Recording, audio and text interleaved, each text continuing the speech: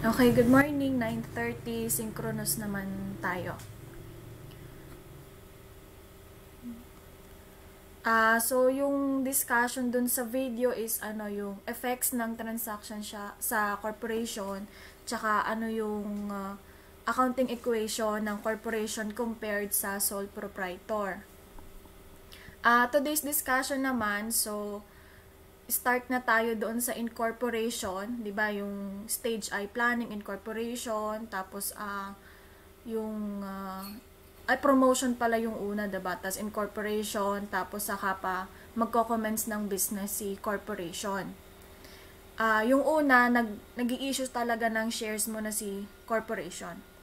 So, as a recap, corporation, yan, kung may question, you can chat ulit. Tapos, uh, kung kaya ng internet nyo, you can open your video. So, ganun na lang. Um, corporation, under section 2, yung RA 11232, I think 2019 lang to effective, nag, nag-effect, tapos onwards na. Ang corporation is an artificial being. Uh, ibig sabihin ng artificial being, unlike ng tayo, tao, tayo ay natural being as human being. So, ito ay artificial being, nagkaroon siya ng personality under the operation of law. So, nung ni-recognize ng, nag, uh, nag-submit tayo sa SEC, doon mare-recognize na ang corporation will become an artificial being, yun yung tinatawag na birth of corporation. Kapag tinanong, uh, kailan na-establish yung corporation, parang tinatanong na din kung kailan pinanganak yung corporation as an artificial being, having the right of succession and the powers, attributes, and properties expressly authorized by law and incidental to its existence. So, laging merong uh, incorporated dyan yung law. So, yung characteristics as a recap, separate legal entity, hiwalay siya sa, hiwalay yung kanyang personality sa mga incorporators niya, sa mga shareholders or members. Created by law, Unlike sa partnership, pwedeng oral or written agreement muna and to make it legal and existing, saka pa i-register sa SEC. Ang corporation, magiging legal and existing lang siya on a written document and kapag ni-register sa SEC.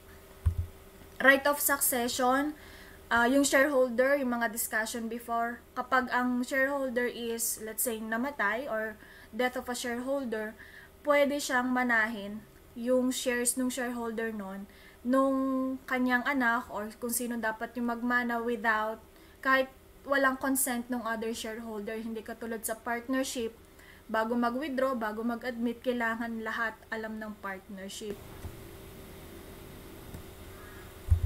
Uh, power attributes, uh, properties authorized by law.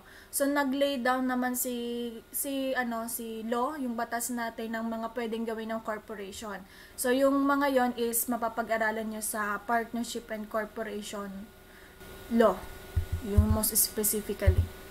At ownership divided into shares. Unlike sa partnership, ang kanilang hatian is based sa profit or loss ratio dito naman yung hatian nila is depende kung ilan yung hawak nilang shares. Whether it's preference or common o yung tinatawag din na ordinary. Kapag nakita nyo ordinary shares, ano din yun, common shares din siya. Pero yung preference shares, uh, as is siya, tinatawag lang talaga siyang preference shares. Board of Directors. Unlike sa partnership, uh, sa partnership kasi normally nagbobotohan lang sila ng officers or kung sino yung magiging manager, managerial partner. Dito sa corporation, yung counterpart ng managerial partner are the board of directors, yung mga uh, uh, chief operating officer, huh? chief financial officer, si COE, CFO, mga ganon kung napapakinggan nyo sa mga palabas sa TV, yung mga may-ari ng kumpanya, tapos pag nagbo-board meeting sila, sila-sila lang yung nag-uusap, hindi kasama lahat ng shareholders doon. Sila yung nagagawa ng mga decisions, lalo yung mga major decisions. Advantages of a corporation. So as a recap, merong power of succession, enables the corporation to enjoy a continuous existence, um, many individuals invest enables it enables the company to obtain strong credit line. Parang ano hindi katulad siya ng partnership na kapag may papasok, kailangan uh, tatanggapin muna ng lahat ng partners. Oo, muna lahat dito.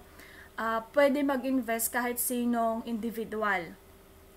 Kasi as long as kaya nilang bumili ng shares at merong shares si corporation na pwede niyang ibenta, pwedeng mag-invest si individual sa corporation.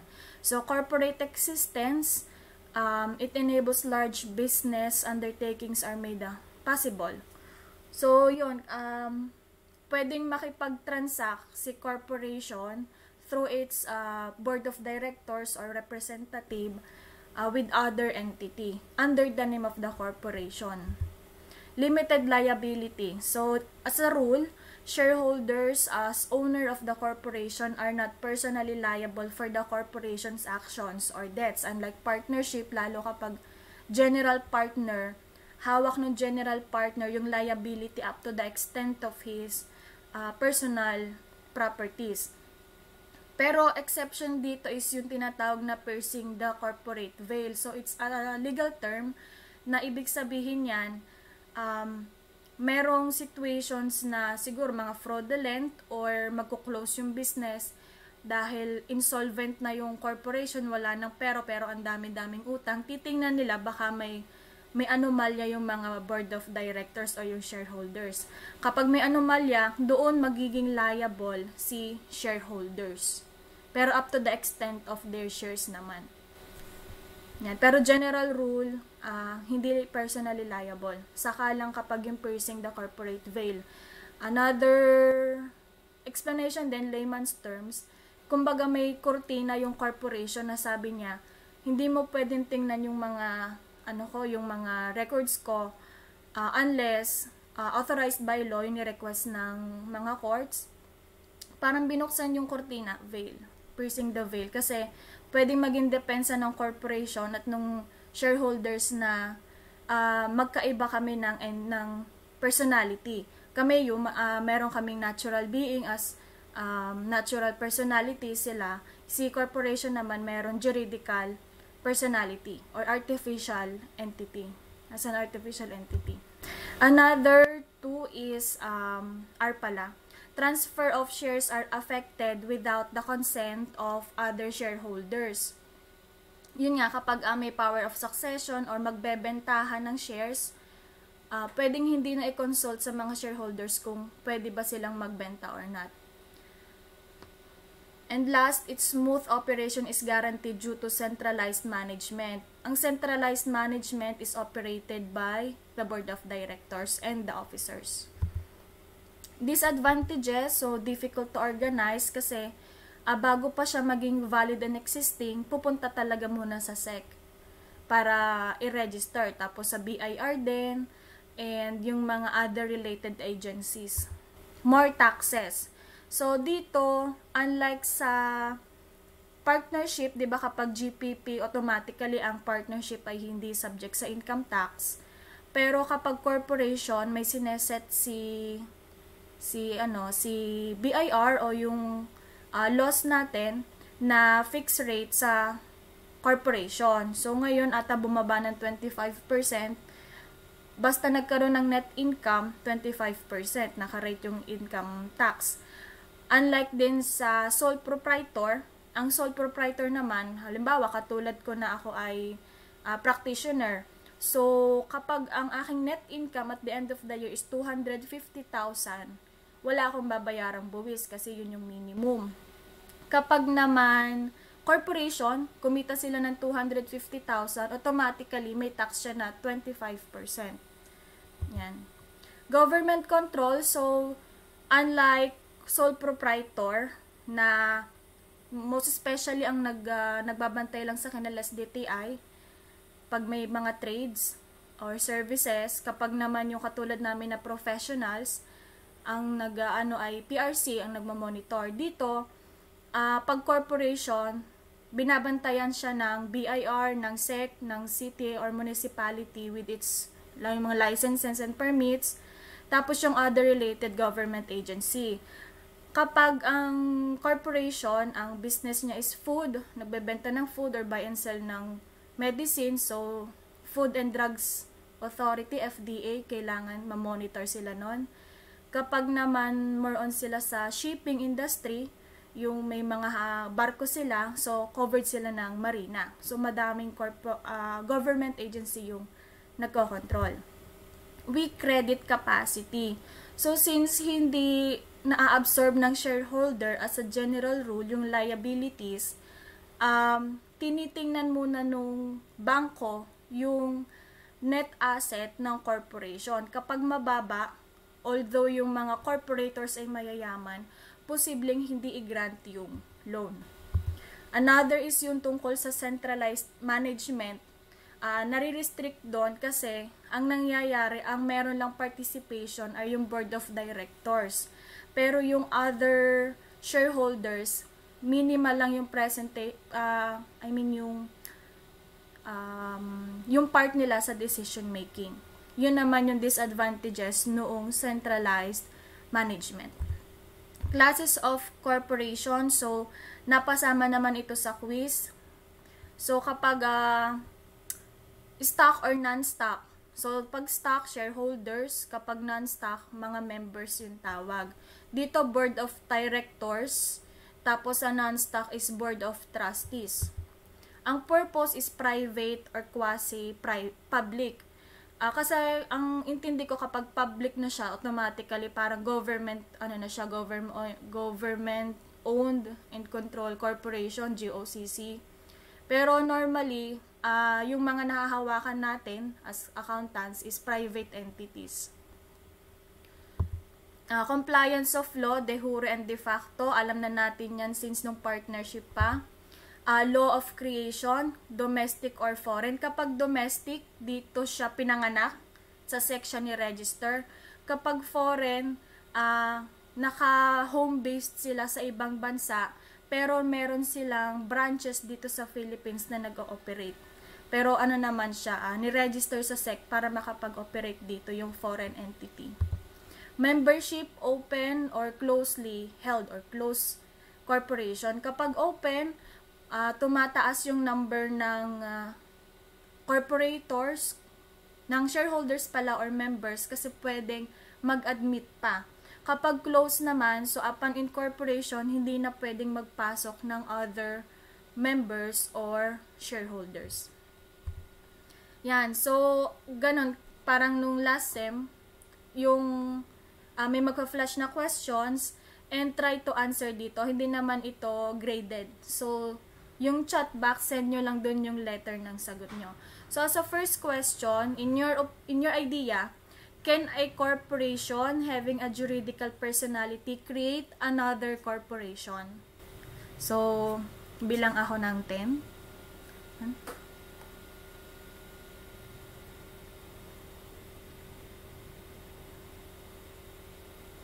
Yan. So, marami naman nagsagot ng A. Okay. So, ang sagot ay A dahil uh, pwede na. Iba yung term na pwede at pwede na. Pwede din siya yung B kung ang tanong ko ay last, last 2010 kasi hindi pwede pa dati. Ang reason dyan is unlike uh, in the old corporation, uh, in all corporation code where only natural persons, yung mga parang sole proprietor, tayong mga natural being can be incorporators, the revised corporation code now allows natural persons, tayo, SEC registered partnership, so yung partnership as long as naka-register sa SEC sila, uh, corporation, domestic or foreign, or any combination. So, pwedeng natural person and a corporation or uh, partnership and the corporation as long as registered sa SEC. Yan. Components of corporation. Sa components naman, so alam natin incorporators, ang difference ng incorporator sa corporators is yung incorporators, yung name nila, nandoon sa original art articles of incorporation. Parang sila yung unang bumuo noon, sila yung mga founders. So, may mga shareholders or members, shareholders kapag stock, corporation members kapag non-stock, yung promoters, tapos may subscribers at underwriters. Kasama din naman yan sa quiz and discuss din. Organizing a corporation. So, uh, dito, uh, yung tatlo, yan yung kasama sa presentation ko na sinend sa inyo. Uh, sinama ko lang yung una, yung planning kasi of course, bago, sayo, bago tayo mag-promote na gagawa tayo ng corporation, is pag-iisipan muna natin kung ano yung magiging business natin, bakit gagawin natin corporation or planning, ay corporation or partnership, yon yun yung gagawin natin sa planning. Tapos saka natin ipopromote kung sino yung mga gustong uh, mag, uh, mag-invest. Tapos yung incorporation yun na yung magsasubmit tayo ng mga legal documents sa government agency na dapat pagsubmitan. Uh, commencement of the business, doon na mag start yung uh, business kapag lahat ng certifications nakuha na natin. So, una, merong SEC certification, yung manggagaling sa Securities and Exchange Commission, tapos meron sa BIR, tapos, yun nga, kung food and drug industry, sa FDA, kapag naman mga shipping, yung sa mga barko, marina, ano pa bang mga, um, kapag naman construction, ay PICAB, Philippine Construction Association Board. So, madaming pagdadaanan din. Bago din mag-start talaga ng business. Kasi kapag nag-operate ng business ng walang certifications, um, pwede ma-question ng SEC. So, babalik uli sa SEC. Articles of Incorporation, kasama naman yan sa quiz. Na-discuss ko dun sa discussion ng quiz. Ang ano lang sa Articles of Incorporation, andyan yung general information about the corporation. Tapos sa bylaws, so yung sa quiz, uh, yung kaya siya bylaws kasi gagamitin siya sa huli dahil ng katunog niya yung by, yung by, BYE. So yung bylaws is at the start of the corporation, dapat meron ng bylaws kasi ito yung susundin na batas within the corporation, lalo na sa mga voting, uh, pa, yung mga the tagal ng director sa kanilang posisyon, yan. More on about sa batas sa loob ng corporation. Corporate record, so para din siyang libro ng gamit ng sole proprietor, ng partnership. Pero dito, um, fino-focus din ng SEC na merong libro for the minutes of the meeting kasi nga required na annually nagmi-meeting ang, at least annually nagmi-meeting ang lahat ng shareholders. Tapos, yung shareholders journal ledgers and subscribers ledgers para na monitor kung sino talaga yung may mga hawak ng shares. Classes of share capital. So, sa classes of share capital, nilagay ko lang dyan ay men, man at saka woman. Kasi ito, pag preference, natandaan nyo female or kapag lalaki men, common, ordinary or common.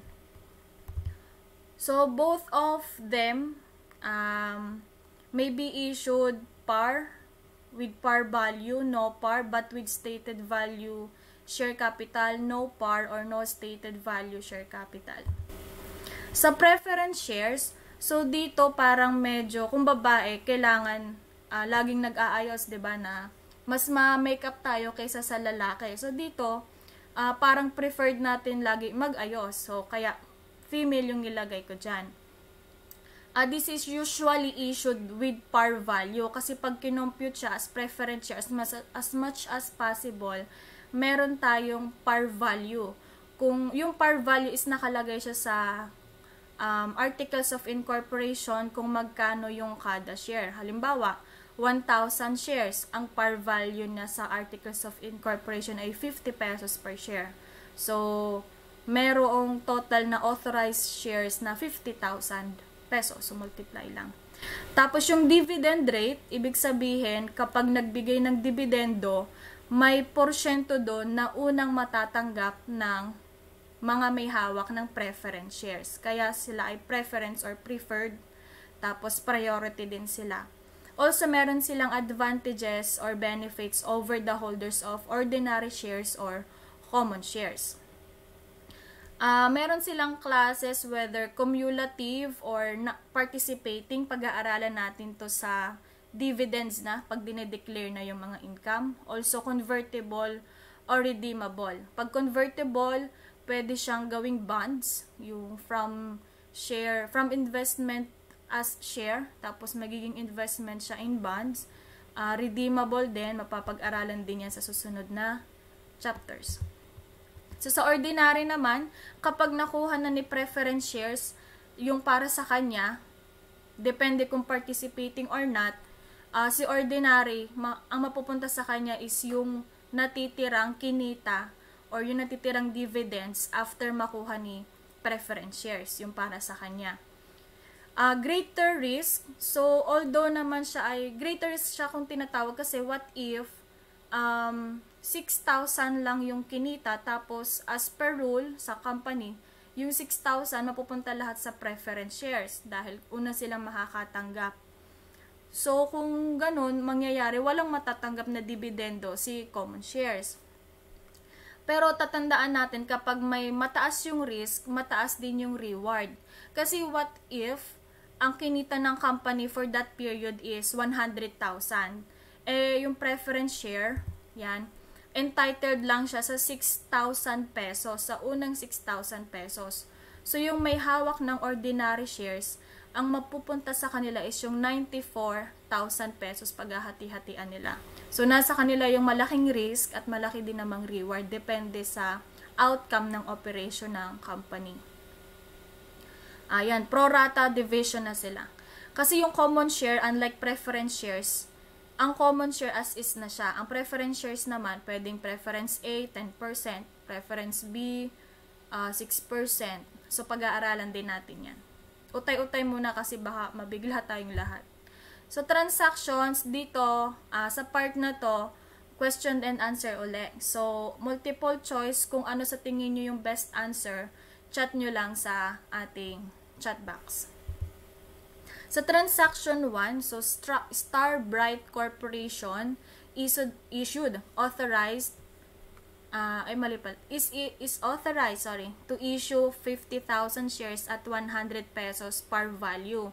So, ano ang possible entry niya sa libro ng corporation. So, 10 seconds ulit.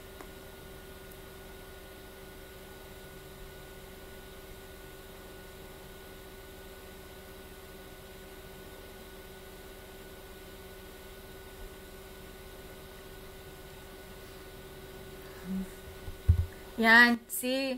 Pero kung ang sagot nyo ay A, tama din naman. So, lahat naman yan ay tama.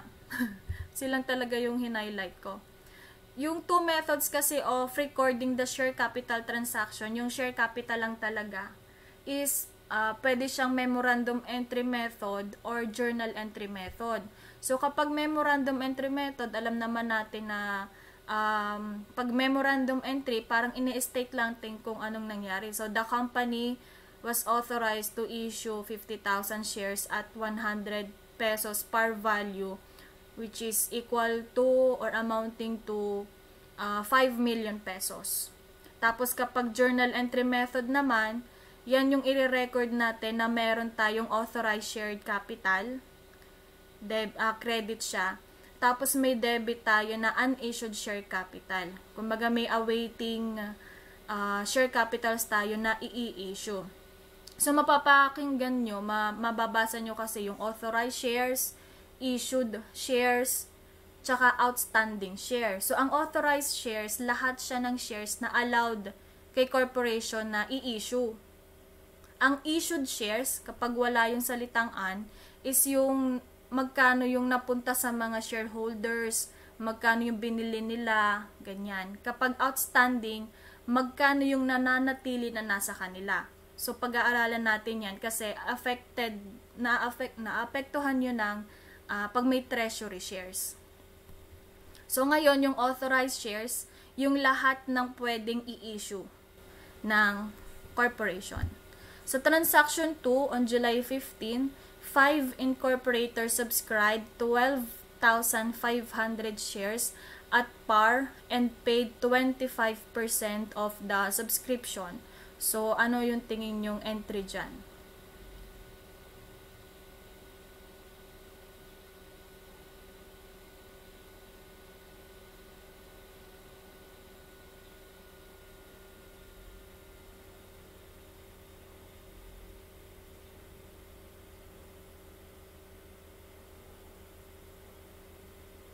Hmm.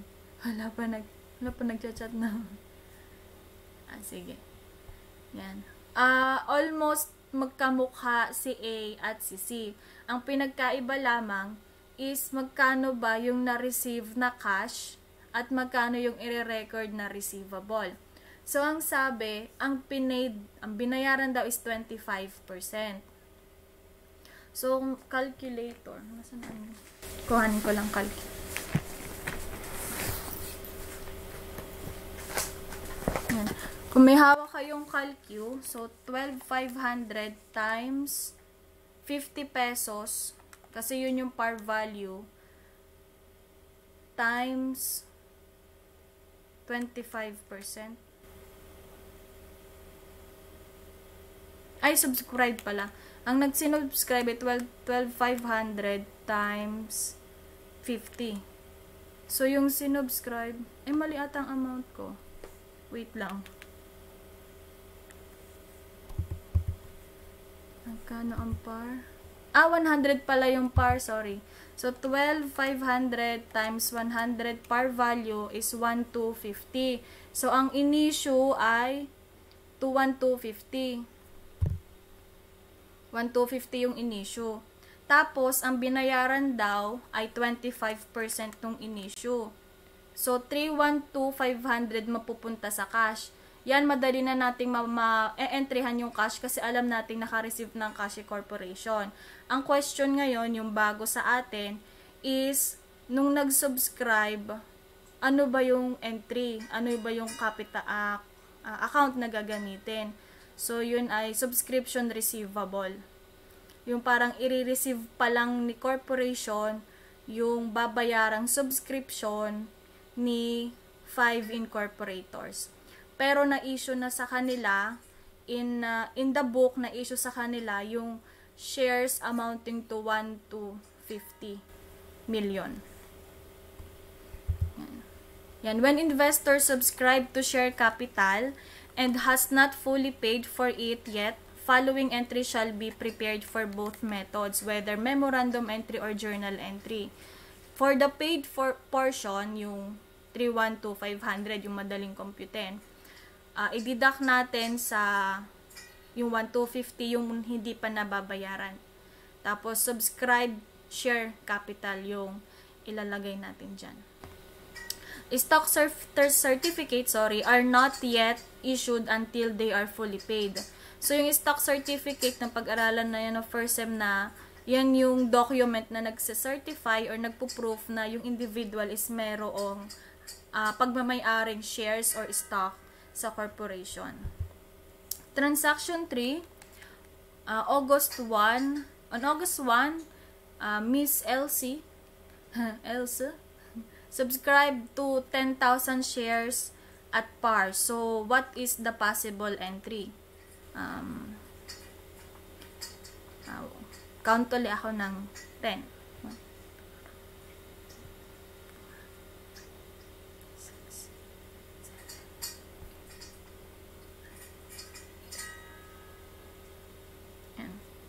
So, ngayon, uh, tama, A siya.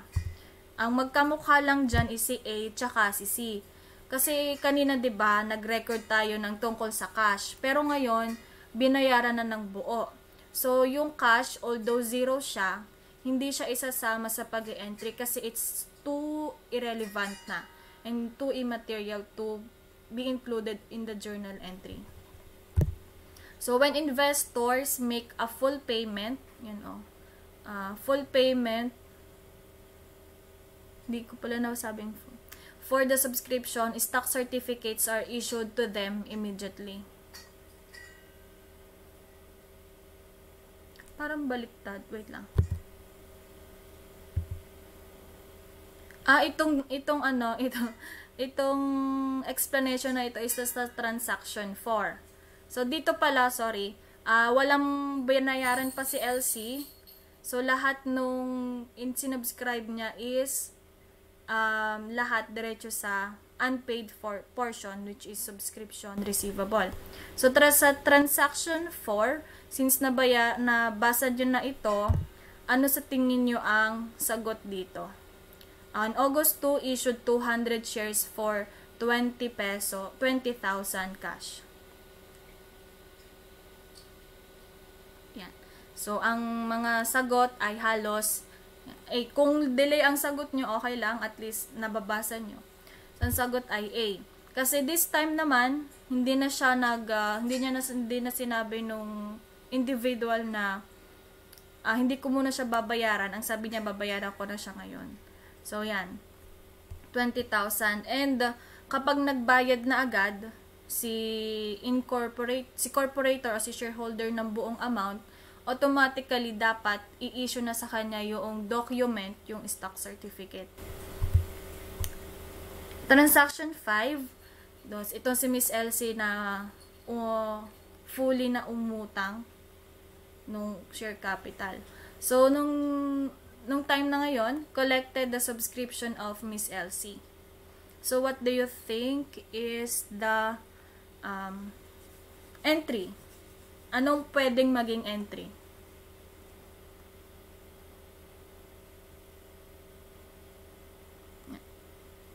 So, may mga sagot na B, may sagot na A, pero pa, tama naman kayo, any of the two.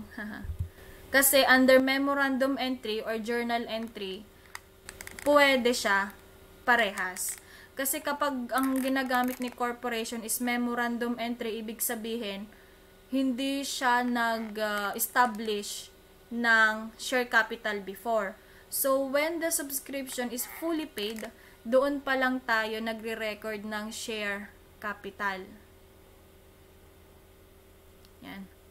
Um, tapos kapag journal, uh, sa journal entry method, yung kaninang unissued na nakadebit, gagawin na natin siyang um, subscribed share capital or share capital. Tapos, parehas lang naman sa una kasi nagbayad na. Ang iba lang talaga sa memo entry at sa journal entry method, memorandum at sa journal entry method, sa journal entry method, meron tayong kinoconsider na unissued share capital. So, sa transaction 6, Ayan, ang pinambayad naman sa shares ay lupa. So, ano sa tingin nyo ang uh, magiging entry sa transaction na yan?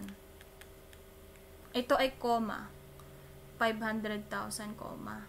Ito ay comma din. Ay! So, lumabas yung sagot. So, ano, uh, nagsina kayo, okay, pwede parehas. Under memo entry or journal entry, 'di ba? Kapag uh, napapansin nyo kapag journal entry method, ang ginagamit natin is unissued share capital. Pero kapag uh, memorandum entry, share capital na yung ginagamit natin. Pero sa practice, mas doon ako sa memorandum entry. Kasi sa totoo naman, nung, nung in-issue yung, nung nag-authorized for issuance, wala naman talagang transaction eh. Pinayagan lang ng SEC si corporation mag-authorize, mag issue ng shares. Nag-authorize lang. Kaya madalas ito yung ginagamit namin, natin. So, kapag naman ang ipinambayad ay lupa, ang ginagamit ay fair market value. So, check natin. Yung 5,000 shares times 100 par, so equal yung par value niya sa 500,000 ng fair market value. Pero kung siya ay yung fair value is different, halimbawa 600,000, meron dito sa baba na share premium worth 100,000. So, mamaya sa may transaction tayo about sa share premium. Pero pag ganito, pag land or any other property na non-cash, ang titingnan natin is fair value niya. Transaction 7. So, matatapos agad ata tayo. Sa transaction 7, um, The company issued 50 shares to Miss Gina for promotional services rendered during the formation of the corporation. So dito instead na uh, magbabayad si Gina or si Gina ay sasabihin niya kukuha ako ng shares pero saka ko pababayaran yung magkakaroon ng subscription receivable. Ang ginawa niya, nagbigay siya ng services na in return sabi niya, wag niyo na muna akong bayaran, bigyan niyo na lang ako ng shares. So, yan yung kwento dyan. Uh, what do you think will be the entry to record this in the book. Ah, pero ma'am, ang unissued, ang unissued po ba, pero ma'am, unissued po ba sa, ano yan? Gamitin sa memorandum? Unissued, tapos ang alam ko at the end of the period or certain period, uh, nire-reconcile yung unissued shares sa authorized shares tsaka sa issued shares. Pero for this, ano naman, for this time, parang kumbaga gross method or net method, ang ginagamit ay net method. So pag dito, kung journal entry method or memorandum entry method, dun tayo sa journal entry method. So kung sa magpapa-exam ako sa inyo, will be considering the journal entry method kasi yun yung impromptu. Kung ano talaga yung transaction, yun na yun. Sa memorandum is nire-recon, nagre-reconcile pa. So, dito ang sagot ay C.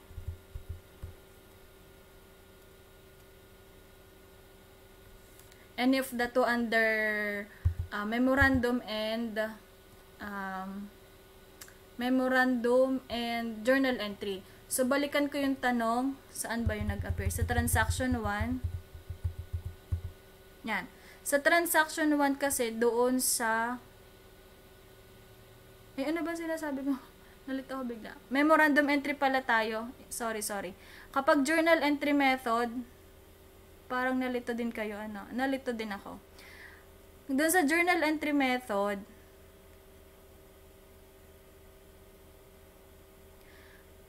ang nung nag-authorize ng share capital, meron tayong debit, ah, credit. So, nag-increase yung authorized share capital.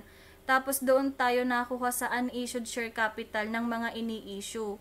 So, kung uh, mag issue tayo, nagke-credit tayo ng unissued share capital. Memo entry pala tayo. Sorry. Pag may exam, ang sinasagot, bawa exam ko na, quiz or uh, long quiz, doon tayo sa, ang ginagamit ay share capital. Kasi ako kahit ako din, medyo hindi ako kampante or, or hindi ako kampante, hindi ako hindi naman sa familiar eh. Parang hindi ako kampante kapag ang term ay unissued shares. So, nasa na tayo? If the two, pag land, kapag promotional, if the two din. Yan. Ito, i-reconcile pa ito at the end of the period under journal entry method. Subscriptions for 1,000 shares. Thank you pala sa question. Kung may question, pwede nyo pa rin i-chat. Subscriptions for 1,000 shares were received from Miss Aquino. Um, um, from that from this transaction, the com the corporation received 20% down payment. The balance in the balance is payable for four equal monthly installments starting November 1. So, ay, anong pinagkaiba niya? Parehas ata yung aking choices sa A at B. Hmm, so, so, C, any of the two. Any of the two kasi sa memo entry, dito sa memo entry or sa journal entry, ano tayo, parehas na subscription receivable at subscription subscribe share capital yung ginagamit. Again, yung pinagkaiba lang nila is yung authorized shares at saka yung unissued shares. Yan. Ang computation naman yan is 1,000 shares times 100. It will be 100,000. So, yung sinubscribe ni Miss Aquino is 100,000. Ang sabi si company is naka-receive ng 20% down payment. So, times 20%, it will be 20,000. Yung 20,000, yan yung na-receive na cash. So, debit ng cash. Tapos, yung, ano, yung natitira, yung balance will be the subscription receivable. So, kung tayo yung accountant, bookkeeper, tatandaan natin yung mga periods kung kailan magbabayad si Aquino. Kasi halimbawa, yung problem is yung long problem. Tapos hindi sinabi na di November 1 hindi sinabi na nagbayad or ano dapat may memo kung kung nagbayad o hindi pa tapos uh, in actual aabisuhan natin si Miss Aquino na by November 1 may babayaran po kayo. Okay. collected half of the balance. Ay nandiyan na pala yung computation. So uh, assuming na 406 468,750 yung balanse na babayaran, na binayaran of the incorporator's subscription. Ano yung magiging entry dyan? Nag-collect nung one half ng outstanding. Outstanding or yung balance ng share subscription receivable. Ha? Huh? Sinabi ko pala. So, ang sagot dyan is letter A. Sa tama naman lahat. Nagiging aware na tayo sa subscription receivable. Hindi pwedeng accounts receivable kasi ang accounts receivable ay ginagamit natin if the transaction is under the ordinary course of business. Kung yan ay operation na nagkabentahan or nagrender tayo ng service pero hindi pa nababayaran yung accruals. So dito subscription subscription receivable whether memo entry or memorandum method or journal entry method. And uh, yung balances dito, yung transaction 1, uh, di, transaction 2, nandyan yung effect, may entry doon na subscription receivable. So that time, I think uh, yung may 12,500 shares, tapos, 25% lang yung binayaran. So, ito yung 75% nun. Tapos, hindi ko alam kung si Miss Elsie ba ito. Yung nag-subscribe siya ng 1 million, tapos hindi mo na binayaran. Tapos, nung transaction 5, binayaran niya na ng buo. So, ang natitira na lang is 937,500. Hindi natin muna isasama si transaction 8 ito kasi ang sabi niya babayaran niya pa doon November 1 dito hindi naman sinabi na November 1. So, para safe, hindi muna natin isasama si uh, yung installment ni Aquino. So, ang sagot dyan is subscription receivable. At ito yung pagko-compute. Pwede naman din, pwede naman din na T-account as long as yung subscription receivable mo, ang debit balance niya, yung normal balance niya. Uh, transaction 10, collected the first installment on September 15. So, mali spelling. Sub, sub, September 15 subscription. Ito yung kay ano, kay Aquino. Yung 20% ng yung binayaran. Tapos yung first installment, 'di ba, sabi ay in for installment daw. So ano sa tingin niyo ang sagot?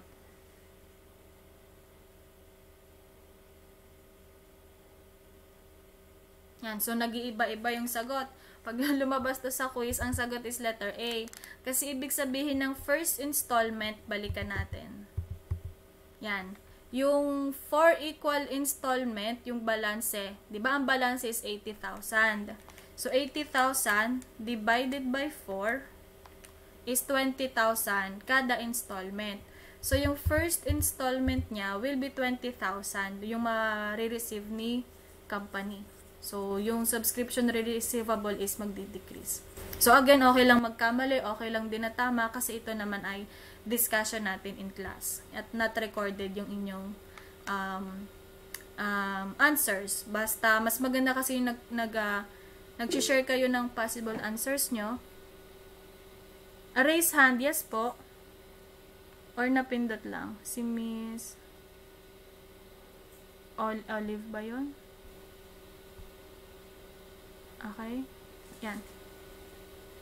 Manapindot lang. Na minsan kasi dun, dun, dun sa class din namin sa law, pag yung cellphone yung gamit, 'di ba? Um, nasa baba yung ano, yung raise hand. So napipindot. So okay lang. Um, transaction transaction 11 collected the second installment ay bakit on the mali lang yung values pero ito ay 20,000 din.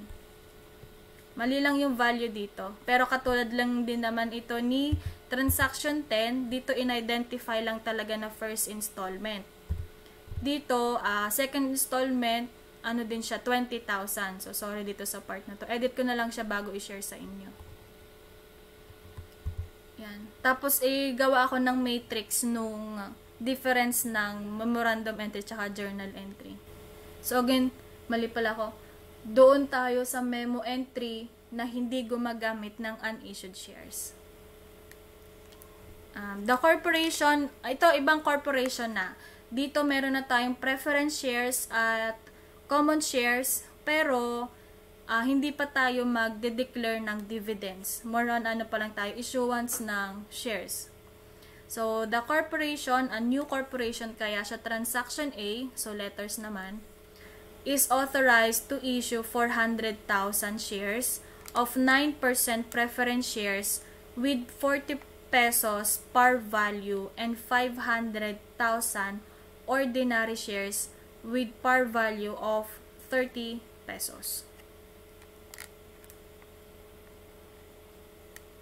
Ba't ako naglagay ng cash? Parang, parang naghalo yung dalawang ano dyan. Yung may question ako, tapos may isa pang um, multiple choice. Pero, tingnan natin kung anong, ano yung possible entry. Um, oo nga, naghalo. Hmm. Teka na lang. I ano ko na lang din, i-discuss ko na lang. Parang wala dyan yung sagot kasi issue, nag-cash dyan, nag-issue ng cash. Hmm, error. So, di ba kapag ganyan, kapag may pa-quiz ako na ganyan, tapos mali yung aking gawa, so hindi ko siya isinasama sa scores nyo or ginagawa kong bonus. So, this time, uh, disregard nyo tong, ano, disregard nyo muna to. Si corporation daw is authorized to issue 400 shares ng preference shares na 40 pesos. So, 400,000 times 40 pesos is equal to 16 million yung authorized niya na uh, preference shares. Tapos, yung ordinary shares is 500,000, kung may calculator kayo, times 30 is 15 million. So, lumalabas na 15 million plus 16 million merong total authorized shares na 31 million. Pero yung recording noon, laging magkahiwalay. Kung tayo ay naka-journal entry method, so yung unissued shares, may dash preference shares, tapos unissued share, dash common share or ordinary share. Yan. Iayusin ko na lang din yan pag sinend ko sa inyo. Kasi ito ay parang transaction na merong bumili tapos uh, sobra-sobra yung ibinayad. So by this time, kung tayo ay naka-memorandum method, i-input lang natin na the company, the corporation is authorized, ito. Ito yung magiging sagot. Uh, tapos lalagyan nyo lang kung magkano sila respectively at yung total. So, preference shares amounting to 16 million, and ordinary shares amounting to 15 million, uh, total of 31 million authorized uh, shares in peso. Ano Ito namang 9%, nakikita nyo na yung 9% dyan. Kung sa mga susunod na ating discussion, ang preference shares, lagi nyo may makikita kayong percentage sa unahan. Um, minsan nagiging dalawa pa yung percentage. Kasi ano nga, parang, parang babae. Medyo maarte yung preference shares. So, yung preference shares, um, lumalabas na kung kung lahat ng preference shares naka-issued, so lahat ay nasa nakahawak ng um, individuals or ng shareholders. Yung 16 million, uh, ano lang natin, um, overview lang kung paano mag-compute na magiging share ni preference share sa dividend declaration. Yung 6 million pesos, yung 400,000 times 40 pesos, pag minultiply natin sa 9%, yung unang 1,440,000 ay mapupunta sa preference share. Yung unang portion ng income. Kumbaga parang yung ano yung cash priority program sa partnership. Ito yung preference share, ito yung priority one natin. Kung ang kinita ng corporation ay 1,440,000, lahat ng dividendo na yun mapupunta kay preference share. walang mapupunta kay common kasi walang excess. Pero kung ang naging kita ng corporation is 5 million, nag-declare ng 5 million worth of dividends, yung 1,440,000 mapupunta kay preference shares. Pero dahil yung excess na 3,560,000 mapupunta naman kay ordinary share. Yun, yun yung uh, mada uh, overview ng computation ng hatian ng kita ng dividends kay preference shares at kay ordinary shares. Si ordinary share tinatawag din siyang common share. Parang sa Pilipinas ang gamit natin ay word ng common share. So ito, uh, edit ko na lang yung question. Pero uh, ang share premium bago uling uh, bago ulit account. So when shares are issued in excess of par value, the amount in excess is called share premium. Yan. So, possible na dito, uh, i-extract natin yung question. So, yung 900, 9 million na sinubscribe na ordinary capital, pag dinivide natin yan sa kanyang par value na 30 pesos, merong bumili o nag-issue yung company ng 300,000 shares.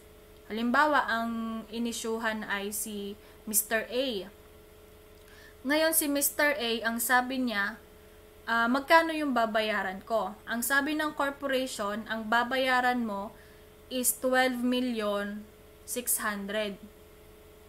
So, lalabas na kung 12 million 600 yung marireceive natin na cash minus 9 million 3 million 600 yung kikitain ng corporation sa transaction na yon pero hindi siya automatically income ng corporation. Siya ay papasok muna sa share premium. Kasi ang transaction na yon is not within the ordinary course of business and it is focused on issuance of share. So, yung pagbabayad ng labi sa 9 million will form part of the capital, the shareholders' capital, under the account of share premium. So, yun, yun naman 2,520 siguro ay percentage ng 12,600. 20% yung binayaran. 20% yung binayaran ni Mr. A and the rest will be uh, subscription receivable. And again, as of this time, kapag sabi ni Mr. A, oh, nagbayad na ako ng 2 million sa'yo, ang laki na nun. Bigyan nyo na ako ng stock certificate. Ang sasabihin ni corporation, yung representative, sasabihin na under the law po, unless uh, hanggat hindi po nyo napabayaran pa ng buo, kahit malaki na po yung ibinayad nyo, hindi pa rin kami mag issue ng stock certificate. Ang stock certificate issuance is kapag nabayaran lamang ng buo. Transaction B, tingnan ko kung aray. Tama na ba? Ah, meron ulit cash. Tingnan natin. Rece anong possible? Titignan ko nandyan din yung mali na naman. Receive subscription for 120,000 preference shares at 45. So, sabay-sabay na lang nating sagutan. 120,000. Ang preference shares kanina, ang par value, titingnan nyo lagi yung par value ha. 40, 40 pesos. So, 120 times 40 pesos equals 4.8. Ito, 4.8.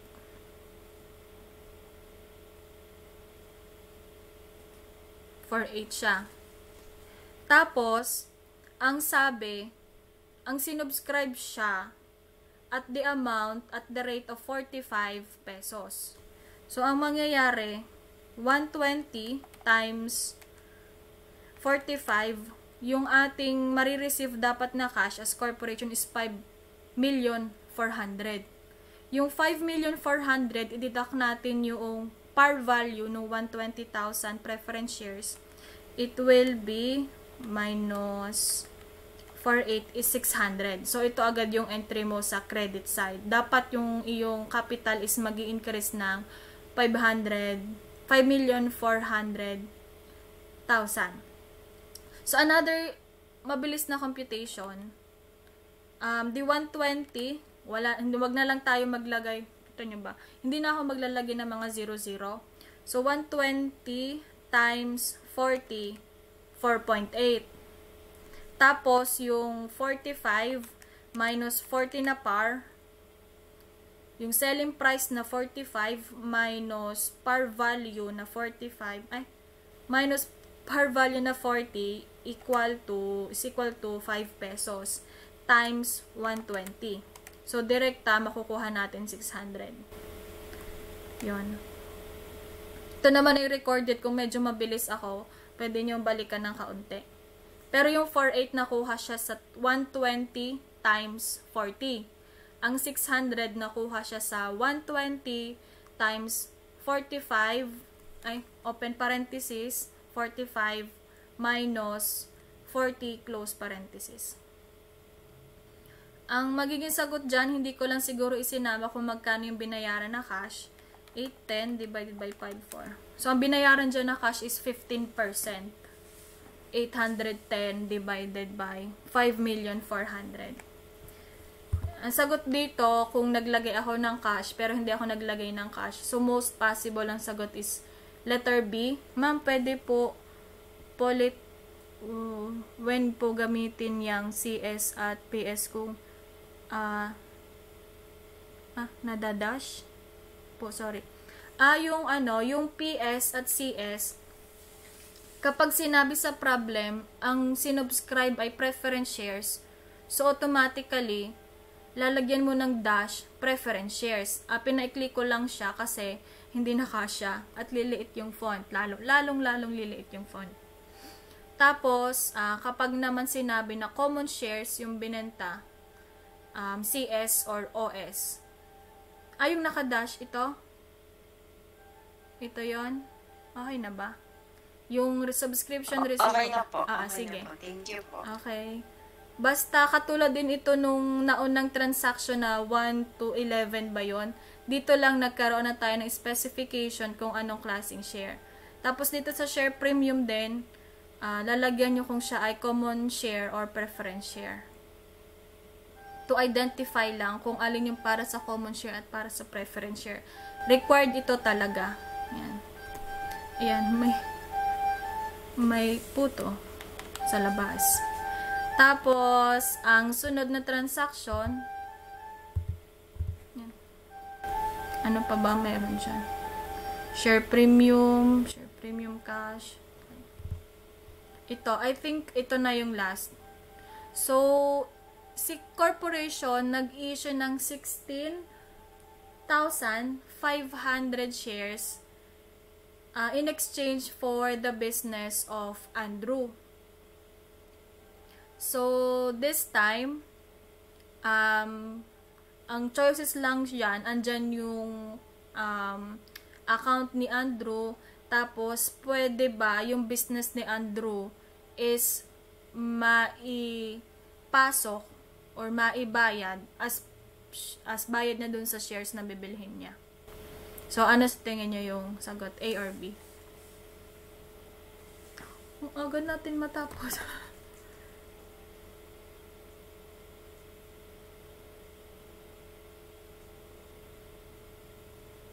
Ma'am, nawalan po ako ulit ng kuryente.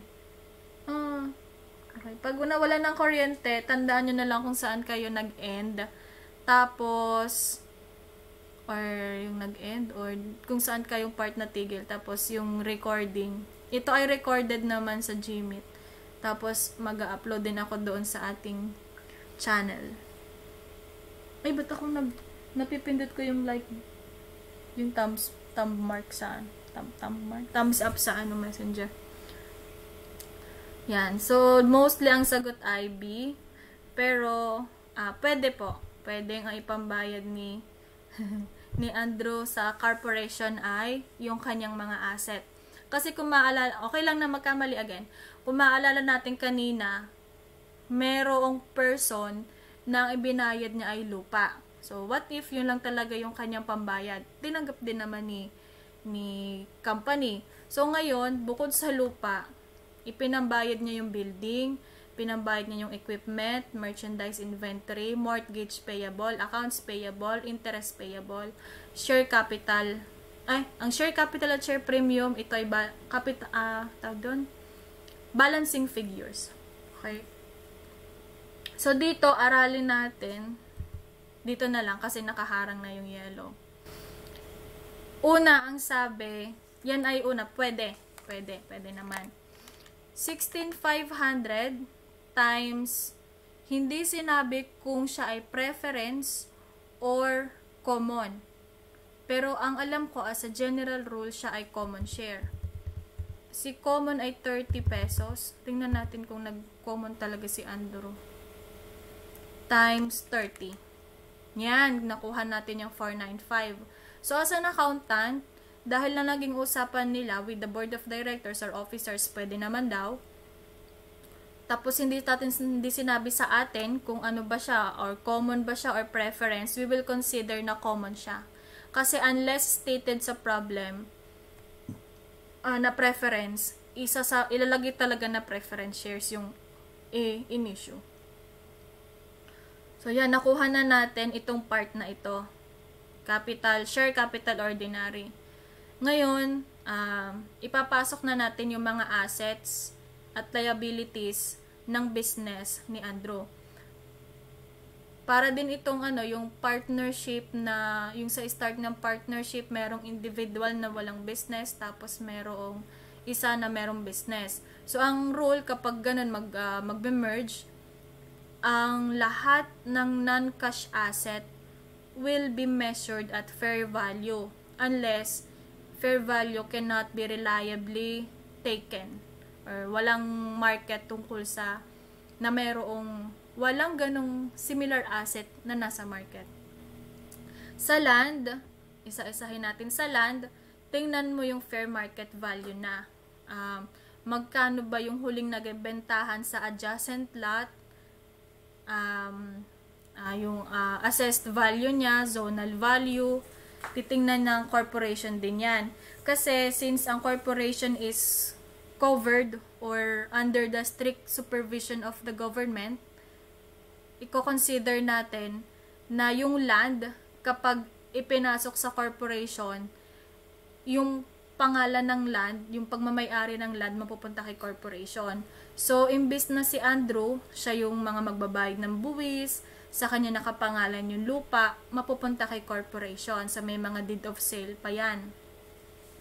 Um, katulad din siya sa building, kasi ang building is meron din siyang deed of sale, meron, nire-record siya sa uh, Registry of Deeds, yung RD, More, more on technical na yun. Pero itong land and building, ma-proseso yan kapag tinake ni corporation. Kasi ililipat siya sa pangalan ni corporation.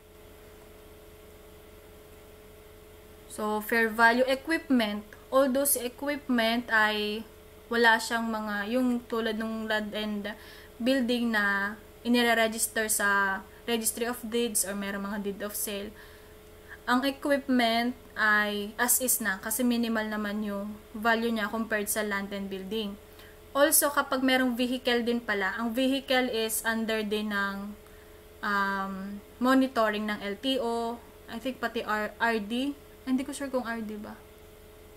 Pero kasi ang motor vehicle, yung mga sasakyan, meron ding kinoconsider na mga deed of sale. So, magkakasama yan land, building, tsaka motor vehicle. Merong mga binabayaran na pa legal services din. Merchandise inventory. So, since this is a merchandise inventory, we can assume that yung business ni Andrew is more on merchandising. Hindi siya service entity, nor ano nga yun, manufacturing entity. Yung invent yung inventory ay sorry, nasobrahan lang yung nasobrahan yung indent niya, pero dito naman ay nakabalansi siya sa debit side. Yun, ang merchandise inventory, eh, wala pa pala kayo sa ano, financial accounting. Nire-record yan kung parang fair value din, pero meron iba't ibang klaseng method para i-record yung merchandise inventory kung magkano yung mapapag-usapang value ng inventory ng both parties, the corporation and Andrew. Usually, ina-assess to, tinitingnan to ni ni company. Kung yung bang merchandise inventory talaga pa ba siyang mabebenta pa ba siya? Worth for reselling pa din ba? Sa practice pag ganyan ang inventory madalas mas mababa sa value kung ano yung value niya sa book. Mas mababa yung value iti-take nung corporation. Kasi ina-assume niya na hindi naman lahat yun mabebenta. Dahil uh, may mga deterioration mga um, prone to yung mananakaw, yung inventory, or kung yung inventory ay yung may mga expiration date, niya titingnan din. Kasi kung expired na, syempre, hindi siya kasama sa ipapasok na merchandise inventory, although na kay Andrew yung inventory at the time of transaction. Mortgage payable. So, possible na itong mortgage payable is connected sa either sa tatlong to. Alin man sa kanila or lahat sila. Ang mortgage payable ay may utang si company tapos nakasangla itong mga to. Or merong bumili sila nito, land, tapos kaakibat nung binili ni, ni Andrew siya, meron pang binabayarang uh, uh, yung pagkakasangla ba, mortgage payable. Basta yung ano, 'di ba yung sa partnership, yung connected na liability dun sa asset na ipapasok ng partner kasama sa partnership. So, parang dito, kung si Andrew, ibang babayad niya yung land, dahil ililipat na yung land sa pangalan ng corporation, i-assume na ni corporation yung connected mortgage payable kay land. Accounts payable, yan. Kasi ito ay uh, connected sa business ni Andrew, so kasama din siya interest payable, kasi nga yung business na yung in exchange for the business, kasama na din to. Ang yung accounts payable naman at interest payable, titingnan niya ni corporation if it's really directly related sa corporation. I mean, sa business ni Andrew. Mamaya, yung palang interest payable niya is yung utang ni Andrew sa Bombay. So, hindi pwedeng isama sa uh, corporation. So, uh, disclaimer lang sa Bombay, pero normally, ang malaki talagang interest yung sa kanila, kaya uh, nire-record. Pero siguro yung interest payable dyan, mm, as much as possible, connected siya sa operation ng business. Kumbaga, yung bumili, ta, bumili si Andrew ng items, ng merchandise worth 11,000. Tapos, hindi pa siya nakakabayad. Sinisingil siya ngayon ng um, supplier with interest na as agreed by Andrew and the supplier. So, kasama to. Pero kung ito yung utang niya personally sa iba, uh, hindi siya isasama dito. So, i-assess ni corporation lahat ng yan. Now, after considering them all, yung fair value, kung baga existing, kung ba siya ay directly connected sa business, i-total na natin. So, 210 land, plus 250. Pag nagko-compute ako, sa calcu hindi ko na sinasama yung 000. Pag ganito naman, di 0.55. So, 460 plus 50 plus 110, yung asset is 620. Mapupunta siya kay corporation. Ang connected liabilities is minus 41 minus 11 minus 0.55. So, ang net worth ni Andrew, yung business ni Andrew is 567,450.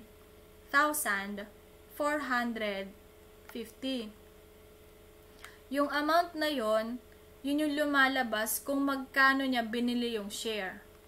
Okay? Yung net amount nito, dito na lang kasi para, ito kasi naka-indent, dito na-indent. Yung hanggang dito, yan, yan yung amount na ibinayad ni Andrew. So, yung 467, 450, ima-minus natin yung nakuha natin kanina na 495. Ay! Naisama ko yung tatlong zero. Ala. Nawala, nag, nag, nag-cancel yung calcu ko. 210 plus 250 plus 50 plus 10 minus 41 minus 11 minus 0.55 minus 495. Yan, nakukuha na yung 72,450.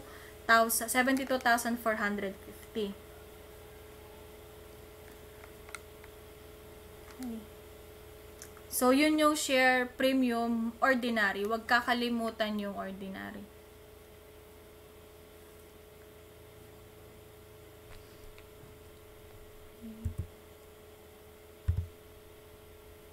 Ano pa ba sa transaction na to? So, yun yung end ng discussion natin ngayon. Pero may time pa, baka titingnan na ako ng discussion dito na nasa laptop ko pa.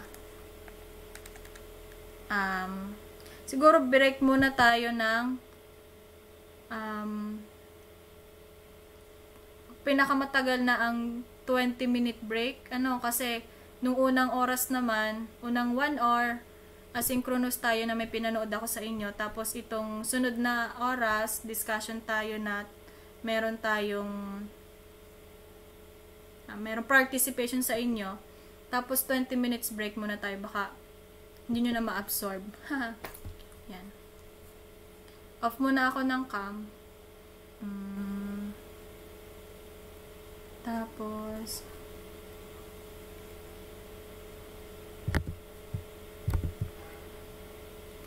uh, your entire screen. A window. A window